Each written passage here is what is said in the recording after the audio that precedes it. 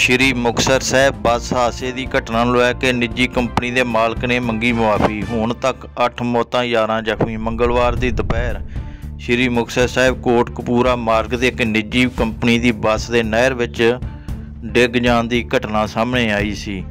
ਘਟਨਾ ਦੀ ਸੂਚਨਾ ਮਿਲਦੇ ਹੀ ਜ਼ਿਲ੍ਹਾ ਪ੍ਰਸ਼ਾਸਨ ਵੱਲੋਂ ਰਾਹਤ ਕਾਰਜ ਆਰੰਭ ਦਿੱਤੇ ਗਏ ਸਨ।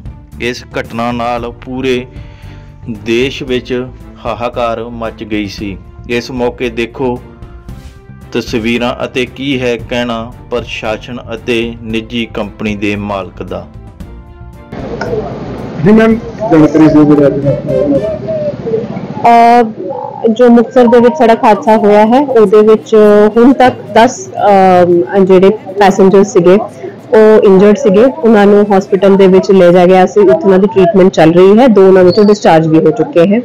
ਤੇ 8 ਦੀ ਅਹ, ਜਿਹੜੀ ਮੌਤ ਹੋ ਚੁੱਕੀ ਹੈ ਉਹਨਾਂ ਦੇ ਵਿੱਚੋਂ 5 ਦੀ ਆਈਡੈਂਟੀਫਿਕੇਸ਼ਨ ਹੋ ਚੁੱਕੀ ਹੈ ਤੇ ਉਹਨਾਂ ਦੇ ਪਰਿਵਾਰ ਉੱਥੇ ਪਹੁੰਚ ਚੁੱਕੇ ਹੈ। ਤਿੰਨ ਦੀ ਆਈਡੈਂਟੀਫਿਕੇਸ਼ਨ ਜਿਹੜੀ ਹੈ ਉਹ ਹੋਣੀ ਬਾਕੀ ਹੈ।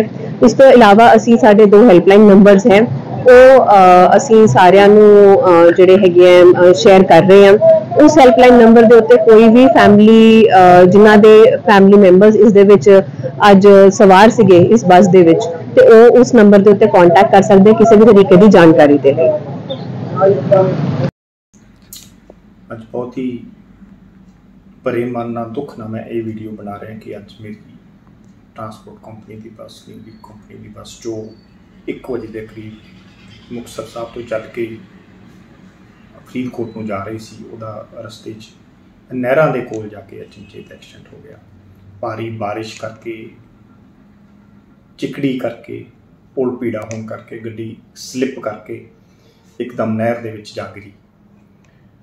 ਤੇ ਬੜੀ ਦੁਖਦਾਈ ਖਬਰ ਮੈਨੂੰ ਮਿਲੀ ਕਿ ਉਹਨਾਂ ਦੇ ਵਿੱਚੋਂ ਕੁਝ 5-6 ਜੋ ਸਵਾਰੀਆਂ ਸਾਡੀ ਟਰਾਂਸਪੋਰਟ ਕੰਪਨੀ ਤੇ ਆਪਣਾ ਵਿਸ਼ਵਾਸ ਕਰਕੇ ਸਾਡੇ ਨਾਲ ਸਫ਼ਰ ਕਰਦੀਆਂ ਸੀ ਉਹਨਾਂ ਦੀ, ਉਹ ਇਸ ਹਾਦਸੇ ਦੇ ਦੌਰਾਨ ਉਹਨਾਂ ਦੀ ਮੌਤ ਹੋ ਗਈ। ਮੈਂ ਇਸ ਗੱਲ ਦੀ ਪੂਰੀ ਪੂਰੀ ਜ਼ਿੰਮੇਵਾਰੀ ਲੈਣਾ ਇਸ ਗੱਲ ਦਾ ਪੂਰਾ ਪੂਰਾ ਆਪਦੀ ਹੱਥ ਬੰਨ ਕੇ ਆਪਦੀ ਗਲਤੀ ਮੰਨਦਾ ਕਿ ਮੇਰੇ ਸਟਾਫ ਤੋਂ ਇਹ ਬੜੀ ਭਾਰੀ ਗਲਤੀ ਹੋਈ ਆ। ਔਰ ਮੈਂ ਉਹਨਾਂ ਇਨਸਾਨਾਂ ਚੋਂ ਆ ਜੋ ਅਗਰ ਗਲਤੀ ਹੋ ਜੇ ਤਾਂ ਉਹਨਾਂ ਚੋਂ ਮੰਨਣ ਵਾਲਿਆਂ ਚੋਂ ਮੈਂ ਮੈਂ ਤੁਹਾਡੇ ਸਾਰਿਆਂ ਦੇ ਚਰਨਾਂ ਦੇ ਵਿੱਚ ਆਪਦੇ ਆਪਦੇ ਨਤਮਸਤਕ ਹੋ ਕੇ ਇਸ ਗਲਤੀ ਮੈਂ ਗਲਤੀ ਮੰਨਦਾ ਕਿ ਮੇਰੇ ਸਟਾਫ ਤੋਂ ਬੜੀ ਭਾਰੀ ਇਹ ਗਲਤੀ ਹੋਈ ਆ। ਮੇਰੀ ਕੰਪਨੀ ਤੇ ਬੜਾ ਵੱਡਾ ਦਾਗ ਲੱਗਿਆ ਇਸ ਗੱਲ ਦਾ ਕਿ ਅੱਜ ਸਭ ਤੋਂ ਬੜਾ ਭਾਰੀ ਨੁਕਸਾਨ ਹੋ ਗਿਆ। ਸੋ ਅਗਰ ਹੋ ਸਕਿਆ ਤਾਂ ਆਪਣਾ ਸੇਵਾਦਾਰ ਸਮਝ ਕੇ, ਆਪਣਾ ਬੱਚਾ ਸਮਝ ਕੇ ਇਸ ਗਲਤੀ ਨੂੰ ਨਾ ਮਾਫ ਕਰਨ ਯੋਗ ਇਸ ਗਲਤੀ ਨੂੰ ਮੈਨੂੰ ਮਾਫ ਕਰਿਓ। ਮੈਂ ਆਪਣੀ ਕੰਪਨੀ ਬਣੀ ਤੋਂ ਤੋਂ ਸਾਰਿਆਂ ਤੋਂ ਗਲਤੀ ਮੰਨਦਾ। ਤੁਹਾਡਾ ਸਾਰਿਆਂ ਦਾ, ਆਪ ਦਾ ਹਰਦੀਪ ਸਿੰਘ ਡਿੰਪੀ ਢਿੱਲੋਂ